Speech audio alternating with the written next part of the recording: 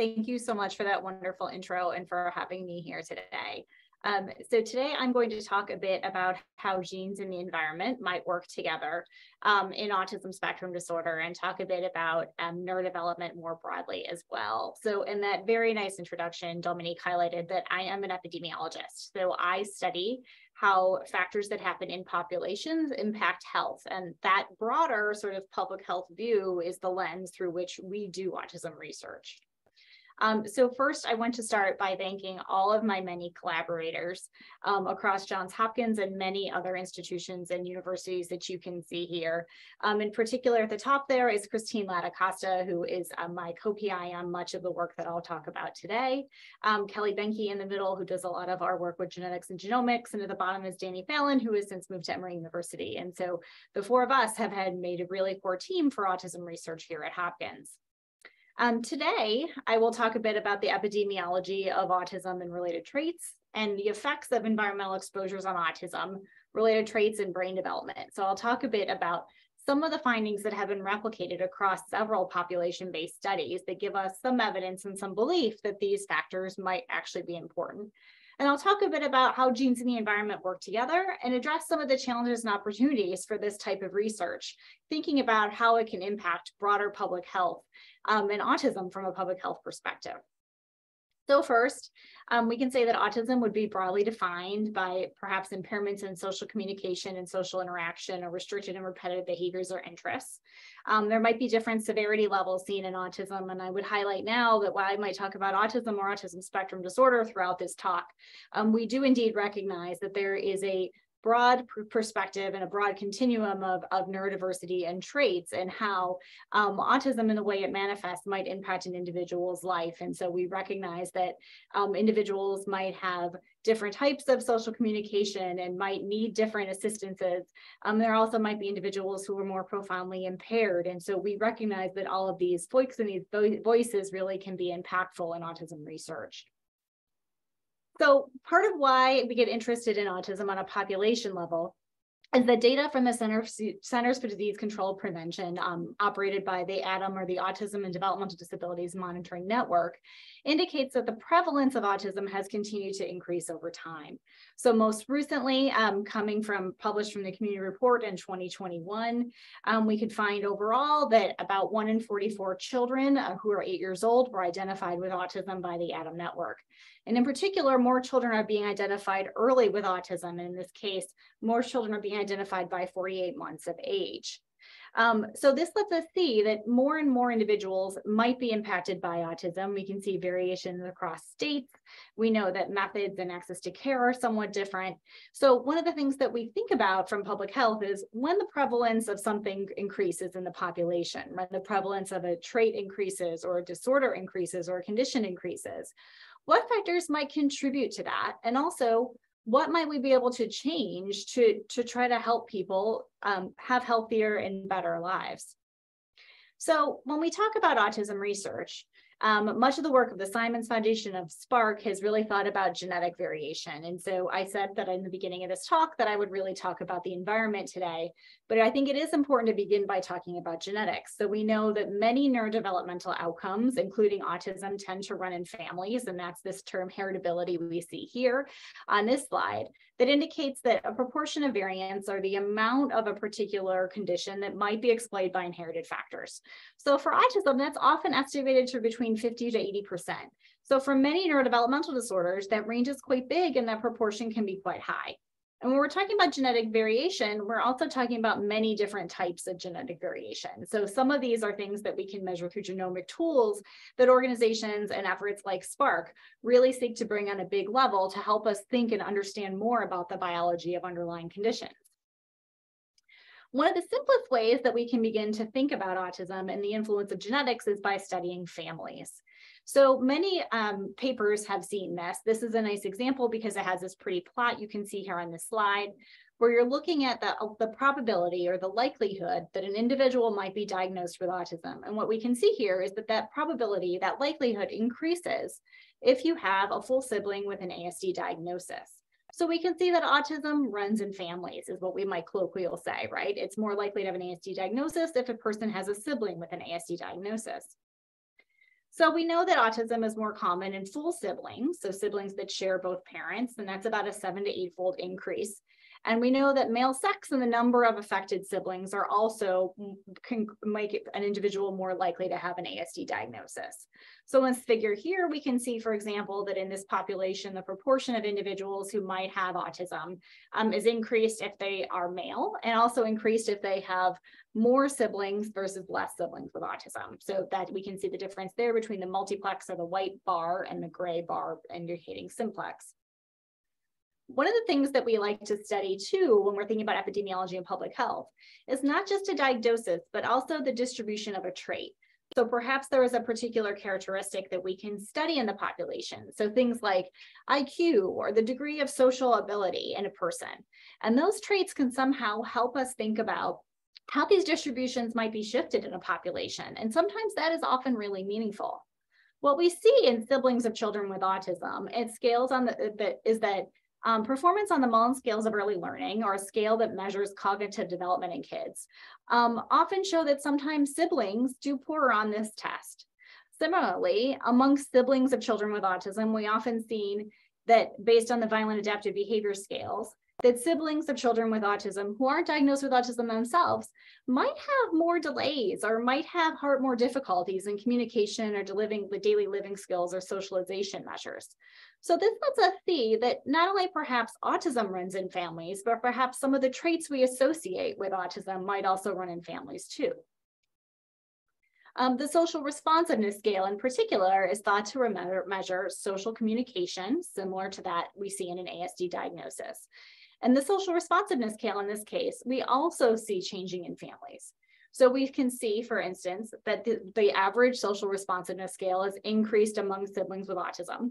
And notably, we know it's not specific to autism. So what we see in this graph on the upper left is that the social responsiveness scale is also increased in um, children, siblings of children who don't have an autism diagnosis, but might have a high functioning language disorder. Because if the SRS here is really measuring social communication, what we can see then, perhaps, right, is that social communication might manifest itself in different ways in different diagnoses within a family. And we can see also here, if you look at the colored graphs on the right, where there is a distribution and a shift in this trait in the population. So for example, in the top two boxes that look at sex based on um, a, a sex assigned at birth based on either being a boy or a girl, we can see that the distribution of the SRS score is shifted among children with autism and also among children with a high functioning language disorder. Those distributions of the scale are about overlapping. So that lets us know that children with those diagnoses perform about the same or might have the same amount of difficulty in social communication. And that's different than the children in blue who don't have autism or an, a high functioning language disorder diagnosis. So What's really interesting here is when we think about families, much of our research comes out of these twin and family studies where we study siblings, and we often use this to conclude that genetics matter for autism. One of the things that also could be important in studying twins is that there is a lot of other things that can happen in a family that might be shared across siblings or even within a twin pair. This particular study looked at the distribution of the SRS score, that same trait that I just measured that measures social communication differences among identical twins. And what they looked at was the average score, which that's plotted on the graph on the left here, across three different populations. So one are families where there are multiple cases of autism with that family. The next one in white was a general population group. And then the yellowish color is data coming from the Interactive Autism Network. So a community-based sample that was recorded online. So we can see that really, if we were to look at the distribution of the SRS score across twins from these different types of data sets and these different ways of participating in research, that the relationship or the difference in the score between twins can really be quite different if these children are coming from families where there are multiple autism cases versus not. The plots on the bottom look at the relationship or the correlation, right? How similar are the SRS scores across these identical twins in a family? And what is really interesting to see is that they aren't perfectly correlated. So in this case, studying twins from the same family, in this case, identical twins, where we think that on average they share most of their genes, um, lets us see that perhaps factors that might be responsible for severity of a phenotype or the degree of social impairment in this case, in this data, might be different than those responsible for disease occurrence. So for from the onset of autism. And this provides a target for us when we think about public health interventions and public health perspectives on outcomes to think about the early non-shared environment. What, what could these twins or siblings be experiencing differently in a family and how might that impact their outcomes?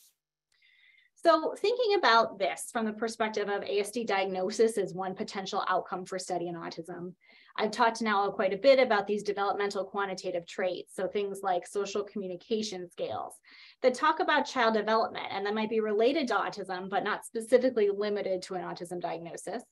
Um, we can also talk about some of these factors that are in the dark purple box below. So measures that might influence ASD severity. So among individuals with autism, how severe are their impairments? And that's a little bit different than the question up above, which, um, which taps a bit more into the idea of neurodiversity. And we can also think about among people with autism, can we look for factors that influence maybe some of the, the conditions that occur at the same time?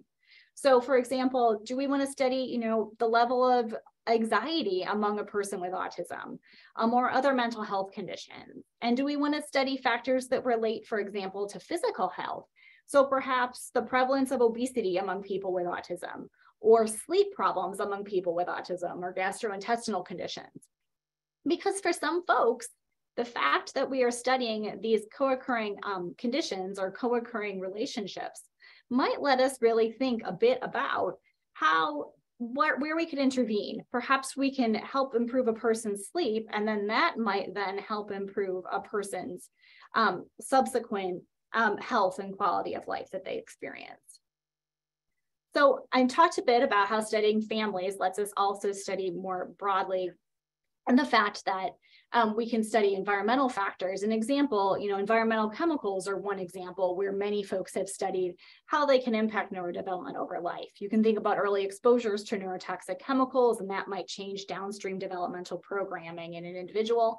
We can think about how genes might function and mature, and we can think about neurological disease in this case and changes that might physically happen in the brain because of those chemical exposures.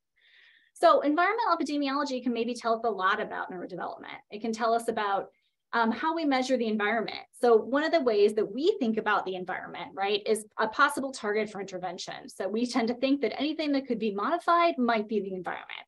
So this would include the chemical and physical environment, so things like pesticides and air pollutants and flame retardants. But we could also think about the social environment, so things that relate to access to care and peer interaction. We can think about lifestyle factors and things that happen to women during pregnancy. And we can also think more broadly about ecosystems. And I'll talk about how we measure these things in the next couple of slides. And part of the reason that we want to study this on a population level is it can tell us how common these environmental factors are and how big of an impact they might have in the population. So, you know, we might have a thing, something in the environment, and we can also think about, you know, environmental chemicals really nicely in this framework where if they happen in a huge way and everyone is exposed to them, right, then they might have a very small impact on the population, but that really matters because that small degree of change could really impact a lot of people. The opposite explanation, right, is you could think about a really acute environmental exposure and environmental disaster that might happen in a very localized area that could then subsequently have a huge impact for that small amount of people. Both of those are really important. And part of the reason we want to study the environment is it can help us think about mechanisms underlying disorders and conditions, and also help us think about biomarkers. What can we actually measure to understand what's better happening? So in neurodevelopmental disorders, I tend to think about sort of broad buckets of the environments in our research. So the idea of toxicants, so things like air pollution and heavy metals and pesticides that I mentioned. We can think about social factors like socioeconomic status or discrimination.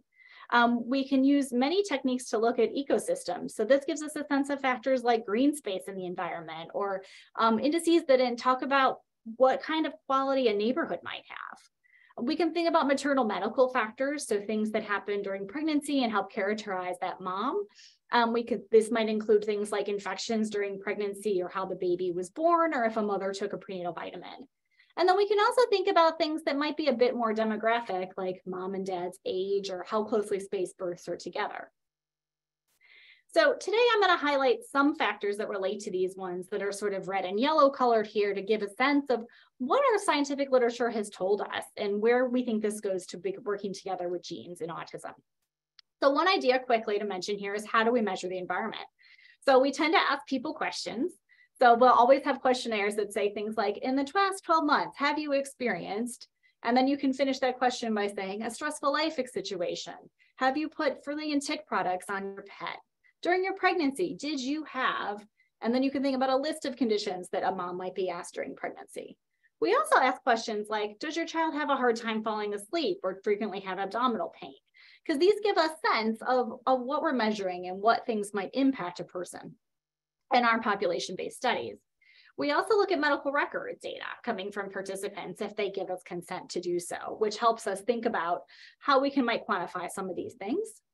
Um, we also use biomarkers. So in many of our research studies, we might try to collect things like blood or hair or teeth. Um, and many of these are sort of neat and interesting and have been great for participants because they aren't hard to collect. Things like teeth definitely fall into that, um, into that category. But because they also let us with laboratory technology actually measure concentrations of things like cortisol that gives us a measure of stress in hair, or perhaps heavy metal concentration that we can be measuring teeth um, and then oftentimes we use geographic linkages. So based on an individual's address, we can get an estimate of air pollution exposure outside their house or the quality of their neighborhood as measured by census indicators. And so these are all pretty powerful measures when we think about populations. So I talked a bit about different buckets of environmental exposures, and now I'm just going to review some of the literature on some of these specific things. Um, so the first and where much of my research has been has been on air pollution and neurodevelopment. Um, so many studies have looked at this relationship in regard to neurodevelopmental outcomes and disorders. Um, and broadly, what we can see is that neurodevelopment and it seems to be impacted by air pollution exposure that happens during the prenatal period in early life. Specific to autism, there have been 23 papers as of 2016, so this number has increased markedly over the last five or six years um, that have looked at the relationship between air pollution and autism that broadly conclude that outdoor air quality in a neighborhood based on an individual's address, often around the time of birth, does seem to be associated with autism. Um, and in particular, more recent papers, and this one coming from the study to explore, explore early development or the SEED study, which is a population-based case control or study or a study that compares children with autism to children who are typically developing across the United States. Um, looked at the Vineland adaptive behavior scale. So one of those mentioned such the scale I mentioned earlier that looks at how kids function in daily life and found that even among kids with autism, children who lived in more polluted areas, and in particular in their first year of life, were more likely to have more problems with daily life and communication, in particular overall functioning, as well as in regard to their daily living skills or socialization abilities. So this is really interesting, right? Because this gives us an idea of how an environmental contaminant might impact just how a person does with their, a person with a particular condition does and functions. Um, and this lets us think that perhaps, you know, better air quality and more a better neighborhood maybe can help improve that person and help improve some of the impacts that they might have in their life. I mentioned earlier too that one of the sorts sorts of exposures that we look at, right, might fall into the prenatal exposure and also into maternal medical factors sort of bucket. So here we can see um, in this particular study coming from the Boston Birth Cohort, um, which is a fairly large study of autism and neurodevelopmental outcomes nested in Boston Medical Center. Um, they looked at the relationship between infection and fever during pregnancy in particular in relationship to ASD and overall find that fever during pregnancy and in particular late pregnancy might increase the likelihood that a child has an ASD diagnosis what's interesting in these epidemiologic studies of ours and the BBC data there is one example, is one of the things that we try to do is look for consistency in these relationships across multiple studies and diagnoses. So here you can see, for example, that the current study is included in this picture that shows our measures of association, right, or the impact of fever, for example, during pregnancy in the context of other data sets. So what we're looking for here specifically is where our estimates of association, those black boxes, right, in the middle of those estimates, are all going the same direction in this data. And that directionality and that consistency is one of the things that we see now when we think on a population level, oh, wow, fever during pregnancy, and in particular late pregnancy might be important. Can we look at this in additional studies?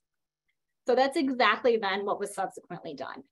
So then researchers looked at the data coming off of that Brucato paper, which is now a few years old, and more recently looked at a meta-analysis or a way of harmonizing what that measure of association is, what that relationship is between infection and fever during pregnancy across 36 studies from around the world. And they overall do say and conclude that it looks like fever during pregnancy might have an impact on increasing the likelihood that a child might be diagnosed with autism later in life. So this consistency is part of what we want to see across populations because every study measures these things a little bit differently. And that's one of the things that we as epidemiologists are always trying to understand is where are these similarities and differences coming from? Um, another example of um, a place where behavior and medicine might come together in autism research um, is thinking about folate and multivitamins in autism. So folate is interesting and it's a bit different than talking about things like air pollution or infection or fever. So the reason I'm interested in folate in regard to neurodevelopmental outcomes is because we have fortification, for example, in the United States. The reason this exists is because folate helps prevent neural tube defects. So we know that folate is actually really important in early stages of brain development during pregnancy to make sure that everything grows correctly and connects correctly and is fully formed in a baby. Many studies now, including studies where fortification isn't necessarily present, have looked in particular at folic acid taken right before um, a mother becomes pregnant or during her pregnancy could actually help prevent um, the occurrence of autism. So this particular study here is from Israel. It's huge. So you can see it's over 45,000 individuals and over 500 cases of autism were included in this particular study. Um, and what they find overall, right, is that folic acid supplements or multivitamin supplements taken before pregnancy or during pregnancy look like they actually decrease the likelihood that a child might be diagnosed with autism. Other studies um, like the Boston birth cohort data I mentioned earlier, have actually measured plasma folate in a mom. So they've had a mom blood sample taken when they enrolled in the study because moms agreed to do so and actually could measure folate in that blood sample. So this is a little bit better than coming from medical record and saying, did this mom report taking a vitamin or not, right? We're actually looking at a biological dose here. And what they found in the Boston birth cohort study was that lower level or higher levels of folate, so beyond sort of a, an optimal range, might actually increase the likelihood that a child had ASD. So there's a little bit of a different story here in terms of how we might measure this. But overall, it seems like folate and prenatal vitamins would be healthy. We want to make sure, though, that we're doing this in the situation in a way, right, that we are properly communicating this, these factors to moms. Um, another study, for example, that has looked at, at folate and prenatal vitamin intake, for example, in autism, um, particularly followed in a very special population, siblings of mothers who have, are sorry, younger siblings of children with autism. So these are moms enrolled in this population called the Markers of Autism Risk in Babies Learning Early Signs, or MARBLE study. So these Marbles moms have had a child with autism. And then when the mom is pregnant, she enrolls in this research study. So here this lets us prospectively see, so following a mom forward through her pregnancy over time, and then following that infant um, prospectively till they're about three years of age, what the relationship here might be between moms who said that they took a prenatal vitamin supplement and the relationship with that child's autism diagnosis. And here what we see is that um, in particular, moms who took a prenatal vitamin supplement those three months before pregnancy, uh, so those months before they conceived, were less likely to have a child with autism. This is even more interesting since these moms have already had a child with autism. So that baby they were pregnant with was about seven to eight times more likely to have autism. And about 50 to 60% of the time, they might have another neurodevelopmental disorder. So this is a sort of a behavioral and medical factor that we could think about perhaps in a particular group of moms might be really beneficial um, to help them have a healthy pregnancy and a healthy outcome. Um, one other idea or one other example here um, is maternal antidepressant use in pregnancy. And particularly, I mentioned this one as it relates to maternal mental health itself. Um, so this very large study here that was published in the New, New England Journal of Medicine um, attempted to examine the relationship between selective serotonin reuptake inhibitors, for example, and autism. Um, and overall, what they found was that moms who took SSRIs um, looked like they had an increased likelihood of having a child with an autism diagnosis. But this paper in particular didn't do a very important thing. It didn't look at the role of mom maternal health, mental health itself. In subsequent papers, like this one here that was just published in this last year, um, does so. And more importantly, what they find is that it looks like mom's history of a mental health disorder. So whether a mom had a diagnosis of anxiety or an eating disorder, an overall mental health condition was more important than whether or not perhaps they took an SSRI or another pharmaceutical. And in particular, what we see here, right, is that um, in this paper, we can see that moms with a history of anxiety disorder and eating disorder were more likely in this data set to have a child with autism. And moms with a history of any psychiatric condition anxiety or depression, we're more likely to have a child with a developmental delay.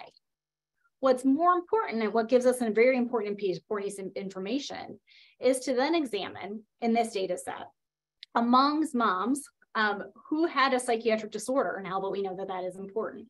Did they take an SSRI or not? And here's where we don't find any significant relationships with either autism or developmental delay part of the reason we want to do this, right, is we would never want to take away medication from a mother who might need it um, to be able to have a healthy pregnancy and a healthy life. And so, you know, this literature around, for example, pharmaceuticals and here SSRIs, it was really important to think about what is the reason that you might be prescribed that pharmaceutical, and is that potentially what is um, what is interesting there? Part of what we think might underlie these relationships is the fact that many genetic studies um, have shown us that there is an inherited liability or an inherited shared um, amount of genetics across all psychiatric conditions. So of course we see these relationships. Um, that's part of how they work, right? Um, one of the other things that we like to think about in epidemiology are interactions across exposures. And so I'm going to give you a couple quick examples here of how some of these factors that I just talked about individually might work together. So I can say broadly that there have been five studies of how the diet and the environment might work together in relationship to autism. So there is some idea out there in the world, and there is some nice scientific evidence around this, for example, that perhaps moms who take a prenatal vitamin and moms who might live in an area where they might be exposed to higher levels of air pollution or pesticides um, those two factors might work against each other, right? They might, so maybe, you know, maybe if you do take your prenatal vitamin, even if you live in an area with poor air quality, um, that could help protect your child um, subsequently in your pregnancy. And so more research needs to be done here, but these are some of the things that we're thinking about now as we move forward. We're also thinking about how chemical factors and social factors might work together.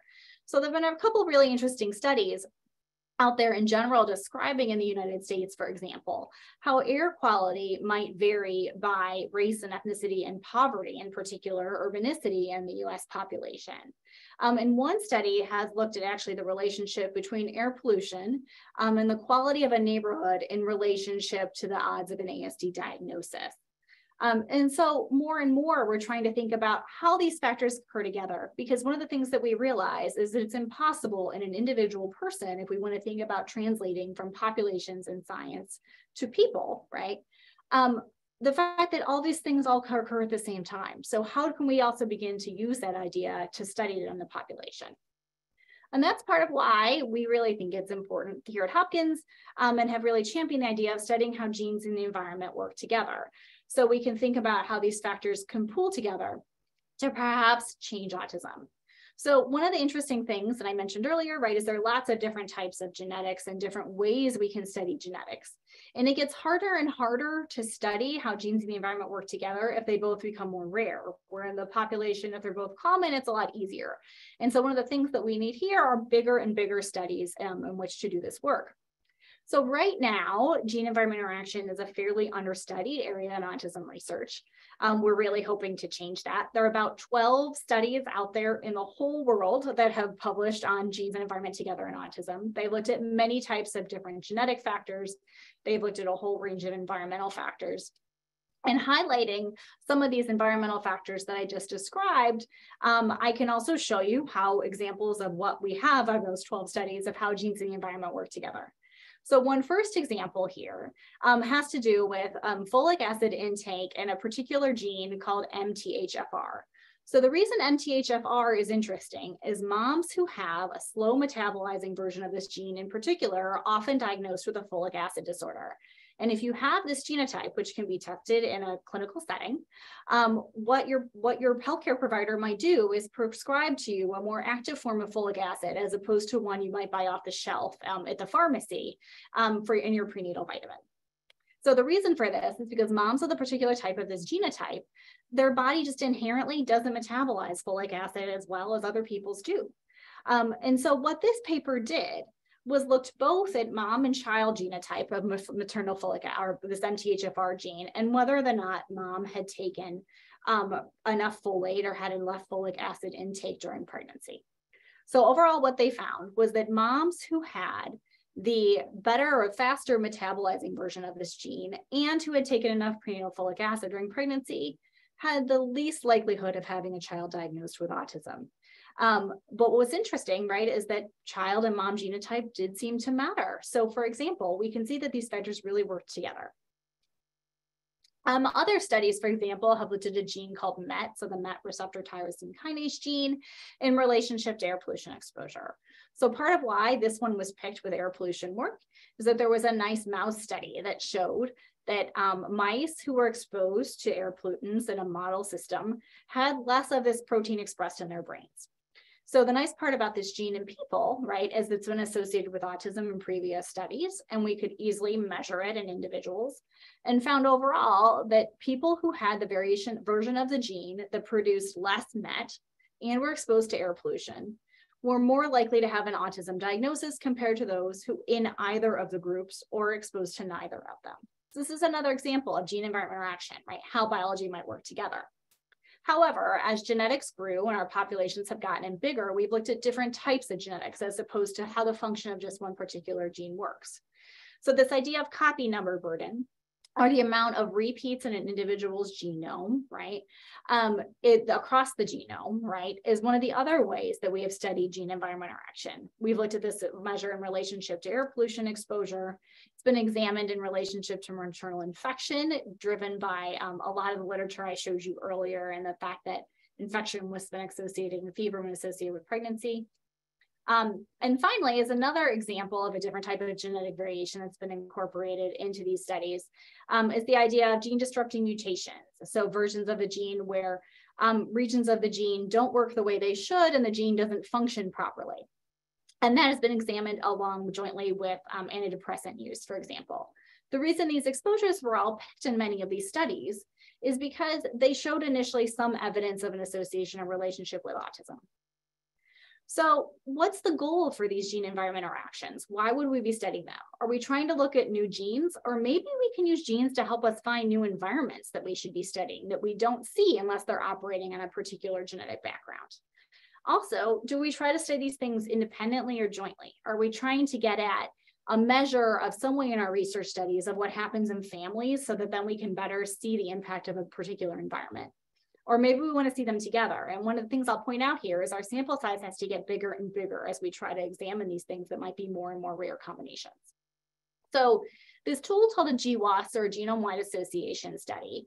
Um, anybody participating in SPARK has probably heard about this, and GWAS is one of our many tools in, in genetic epidemiology, is to look systematically across an individual's whole genome for a single change in the genome and we're going to do this in a way that isn't biased initially by biology. So what we're going to do is measure the same spots in the genome and, you know, perhaps up to 500,000 or a million spots in the genome in relationship to neurodevelopmental disorders.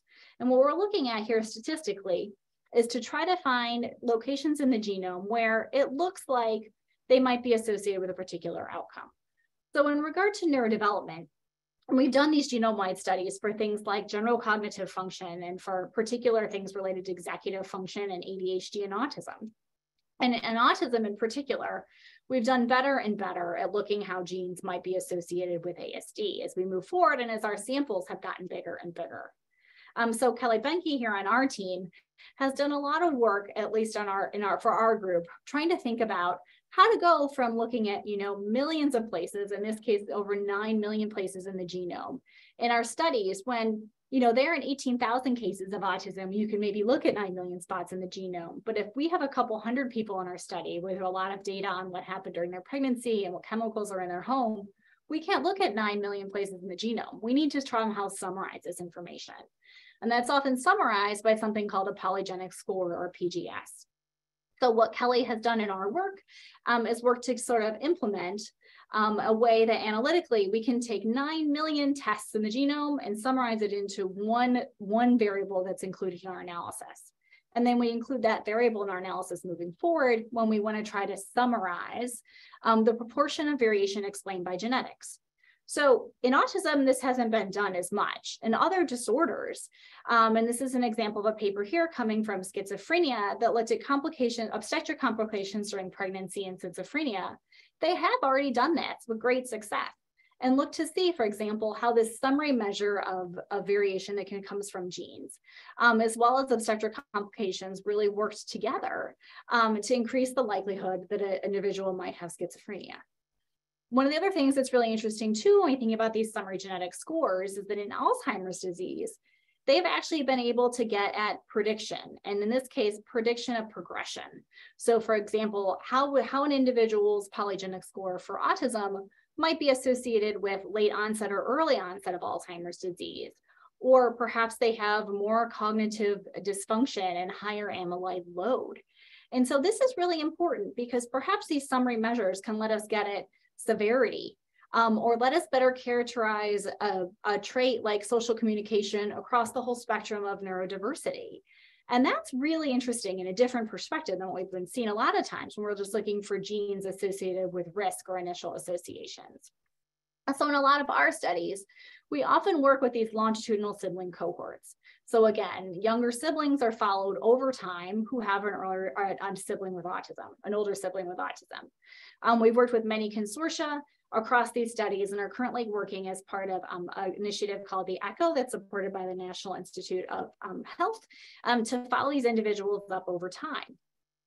So what's cool here is it lets us begin to get a bigger and bigger sample size for the study of how these polygenic scores for autism might actually relate then to subsequent case control status and subsequent trait right? So one of the things I want to point out here is that in individual studies, for example, we might only have 30 or 60 individuals with autism. And it's when we can begin to pool across these studies that we begin to have significant power.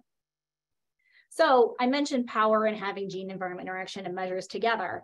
Um, and the SPARK initiative um, by the Simons Foundation has been a huge pioneer in thinking about this in terms of genetic and phenotypic data, data available. Um, one of the cool parts about SPARK, and we have been fortunate to collaborate with, um, is to think about the research match initiative in SPARK. Um, and so we have had a study that has been ongoing now for several years called the Genes and Environment and Autism Research Study or the GEARS Research Study. Um, and mothers from Spark were contacted to participate in this.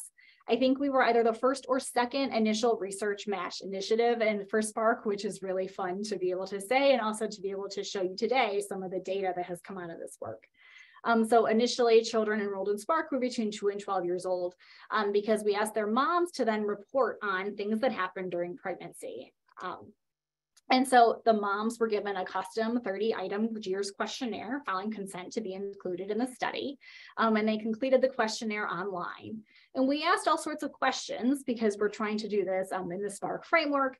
Things that were like, before your pregnancy with your child, did you have any of the following conditions? And then you could think about a whole chart where a mom could check. I was diagnosed with diabetes and I had asthma and I had anxiety, for example, so that we can try to get a broad range of things that might characterize that mom's pregnancy. We also asked questions like, during the three months before you came pregnant, did you take a prenatal vitamin? Because we've seen that that's been important in autism as well. And we know that that's broadly important for neurodevelopment. And then we can connect these environmental exposures with measures of the outcomes that already exist in Spark. And in particular, I'll show you some examples now coming from the social communication questionnaire, the SCQ that everyone in Spark completes. Um, so Luke Grosvenor, who is a doctoral student here at Hopkins, has really led this work, and it comes from some of the preliminary work for his dissertation that he'll defend this spring.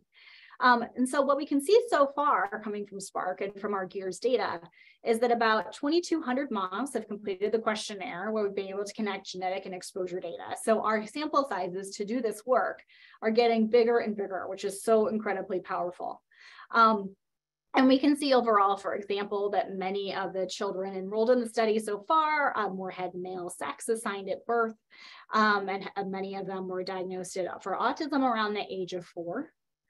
Um, we can also see, for example, that we can look at the distribution of SCQ scores, or the social communication scale scores and the SPARK kids. And this is an example from about 1600 kids. Um, based on the established cutoffs for the SCQ, we have colored this graph. Um, relative to clinical um, implications. So where a score of 15 or higher is often seen to be consistent in terms of screening with an autism diagnosis. So you can see that differentiation here. And the average score in the SPARK sample um, is indicated by that vertical dashed line. So it's about 21. So definitely a little bit higher than what we would see um, in terms of a, a negative screening score. So this is awesome, right? This lets us see in a large sample of kids um, with autism what their social communication level might be. Um, so one of the neat things that we've done moving forward is looked among these children with autism. What is just the relationship then of the autism polygenic score that I talked about how it was built earlier, and many of these environmental factors that we ask about in the GEARS questionnaire. So you can see here, for example, that um, about 19% of the moms in the study so far reported that they had had a diagnosis of asthma um, ever in their life, or about 40% had a diagnosis of major depressive disorder. What this picture tells us here then is the relationship between the autism polygenic score and that environment. So um, amongst those kids with autism, because one of the things that we're trying to look for is how genes in the environment might be correlated or working together in this case. And that lets us start to think about how gene environment interaction might work. One of the next steps then that we implement is to say, so then how does this autism polygenic score work together with a particular exposure? So here, for example, one example are moms who reported fever during pregnancy, and we can see here that is the solid red line in the graph below. And the dashed line of it are moms who did not report fever during pregnancy. So when these lines cross, one of the things that we want to see here, and one of these things that really is interesting, is that that is evidence statistically of an interaction. So we can see, for example, that moms who had um, moms with a fever, for example, were more likely to have a lower polygenic load for autism than moms who didn't. So this lets us see how these factors might be working together differently. We can also look at mom mental illness again, where we can see the same relationship in hand. Um, for example, though, we might look at a different phenotype. So in this case, it's the stereotype behavior scale of the SCQ. And here we're looking at the relationship between mom prenatal vitamin report in the solid red line versus mom who didn't report taking a prenatal vitamin during pregnancy in the dashed red line.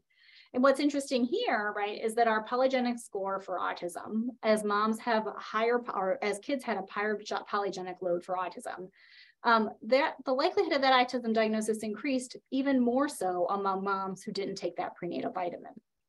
So this lets us see how some of these relationships might work together. And as one more example, we've done a comparable analysis looking at moms who reported smoking during pregnancy um, and ASD polygenic score in relationship to autism diagnosis. So what we're trying to understand here is, are these interactions, do they really seem to be real? Do they really seem to change an individual's path? And how might they impact, for example, here, degree of stereotype behaviors among autism? So this is a bit different perspective. And one of the things that we've been able to really do now working with Spark is to think about exploring a different, um, different types of genetic variation and different types of environments. Um, we want to be able to think more and more about um, how these exposures might be measured and whether or not we think our reporting is consistent. We can think about different types of genomics, and we want to think a lot about some of these impacts and analyses that might come into play. So some of this is operational, but you know, working with Spark has really been foundational for us and thinking about how to scale up this research. And I know that in terms of genetic discovery, that's one of the goals of Spark.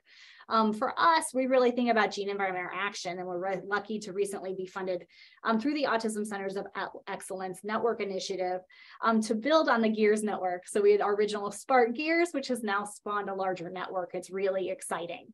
Um, we have 18 sites that have worked together of over 175,000 individuals to really gain this large scale population perspective of how genes and environment work, work together.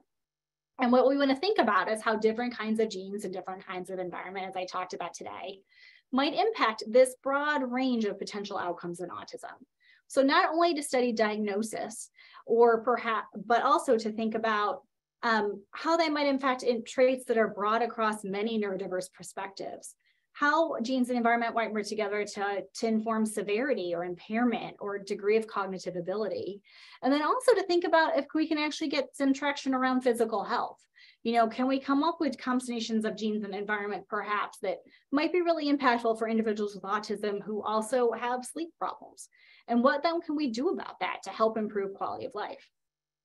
Um, one of the other things that we like to do is to talk to our friends who do laboratory models. Um, so they are also going to work in some experimental systems and cellular models to help us replicate and study particular types of genes in the environment. Um, and in particular, the next steps that we try to see in our epidemiologic analysis, as you can see here in this table, are going to try to address both con physical contaminants in the environment like air pollutants, but also things that we can also intervene on a more individual level. So things like maternal infection during pregnancy or folic acid in relationship to many outcomes. But one of the things that we're very current are very um, cognizant of, right, is to think about how we would talk about this to folks with autism and their families and who our target audience for this work might be. You know, we're not looking to um, rid autism or, or or perhaps not recognize that people with many neurodiverse perspectives really still important but can we better understand and perhaps improve individuals' quality of life? Um, thinking about how perhaps um, genes and environment might work together for healthcare providers or women planning a pregnancy, or people um, with autism or with neurodiverse perspectives who might have particular other physical health challenges. Um, and so we have convened a community advisory board, and we are really working to try to think about how we're going to work to translate much of this work moving forward because ultimately we want to think about intervention and prevention um, from the perspective of disorder severity and trait measures. So can we help um, help address and help improve perhaps quality of life for some severity measures or some trait measures? Can we address co-occurrence of physical health conditions? And can we think about many types of exposures in different populations that might be working together? Um, you know, thinking about the broad range of exposures and how they might work together on a population level, and also thinking about diversity of exposures, both neurodiversity as well, um, really perhaps can help us more collaboratively and more comprehensively address and improve health um, and address many health challenges that individuals might experience. Um, and so with that, I would like to thank you so much for your time today. I hope I have been both educational and informative and entertaining, um, and also recognize the many organizations that have helped fund our research. Thank you.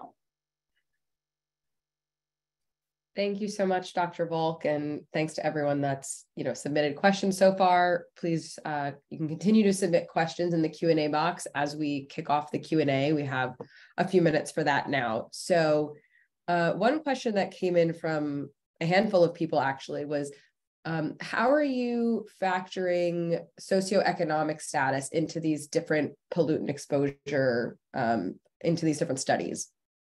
So that is a fantastic question.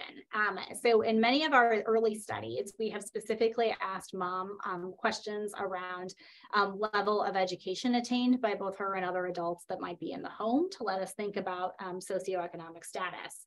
We also recognize that it's potentially much bigger question. And so now, in addition to that sort of work, we also try to look at in our same analyses um, how uh, neighborhood measures and how neighborhood socioeconomic status and input might impact um, air pollution exposure levels.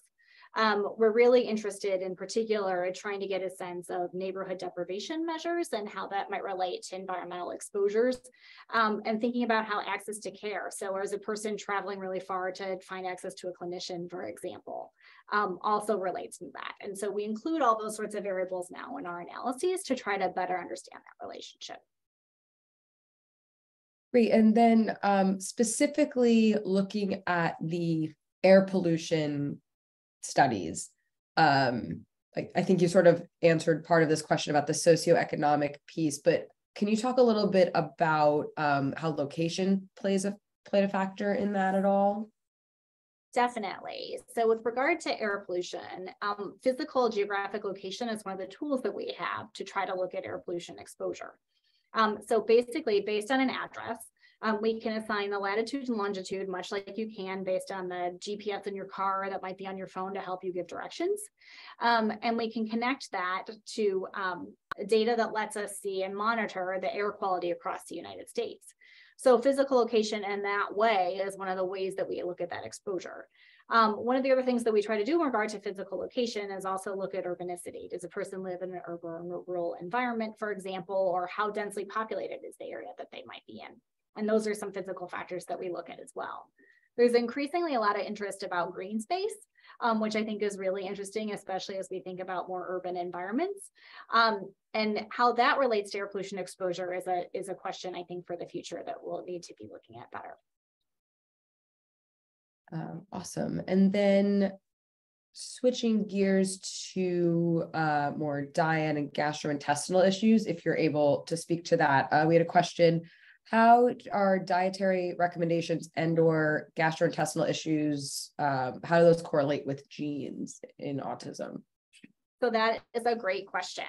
Um, so many of these genome-wide association study tools have been to apply to um, gastrointestinal disorders. Um, and so there have been studies out there, right, that have looked to find genes that relate specifically to GI conditions and mostly diagnoses. Um, we have a paper that is currently in press um, that is actually trying to look at um, maternal reported conditions in their child, and in particular, more things like constipation or bloating or cramping. So some of the more um, conditions or symptoms, right, that a child might have that aren't actually a diagnosis in relationship to some of the genes that have been seen to re relate to those to, to those diagnoses.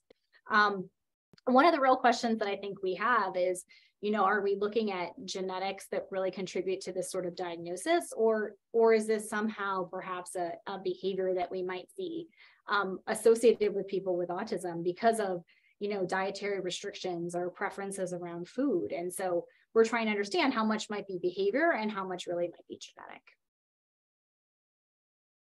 Um, and then looking back to the uh, the pre-pregnancy vitamin intake study, uh, mm-hmm. Were these moms randomly assigned to their intake groups, or were they more, or did you find they're more likely to take vitamins due to other factors such as their education um, or their income, perhaps? Great question. So those moms, it was not a randomized intervention. So those were moms just from a population study that reported whether or not they had taken um, folate during their pregnancy or not. And many of the studies that I described were conducted in that vein. Um, and so uh, overall, I think that's a really great question. One of the one of the things that we're trying to better understand now is that um, is there something specific about moms who do or don't use a prenatal vitamin or decide to take them? And one of the questions around is, you know, if a mom woman is planning a pregnancy versus not, she might be more likely to take that prenatal vitamin. Um, and there are many things that could happen in a person's life that would relate to that. So um, I guess that's a that's a TBD in terms of having a great answer there. Um, okay. And then one sort of a, a related question to the, the, pregnancy piece, but also circling back to the location. Um, are historical addresses considered? So for instance, if somebody, uh, you know, where they live now differs from the place where they uh, conceived, is that considered in, in these studies as well? It is, and it's one of the really important pieces of information we try to ask. So oftentimes in these forums, we'll ask a mom, so where did you live when your child was born? And do you still live there? And if you don't live, and if you, so if you live someplace different now, where do you live now? And if you live someplace different while you were pregnant, right, or early in your pregnancy or pre pregnancy, we ask for those addresses too, because what we want to do, right, is to be able to use that address data to let us sort of reconstruct relative to time what those exposures might have been. Awesome. And then one last question, and I think this is a really great, just general clarifying question yeah. that other people on the call may have besides just you know the who who asked this so um again just to clarify is it possible that genes that are at certain that are at risk for certain conditions may or may not be expressed based on certain environmental conditions or exposures Exactly. Um, and that is really, you know, fundamentally what we're trying to get at when we're talking about gene environment interaction. Um, you know, the idea is that there could be a certain genetic liability that exists for any different condition, but we might not see it actually working or happening unless a particular environment is in place. Um, and we hope that by studying these things together, that lets us better understand um, a particular disorder.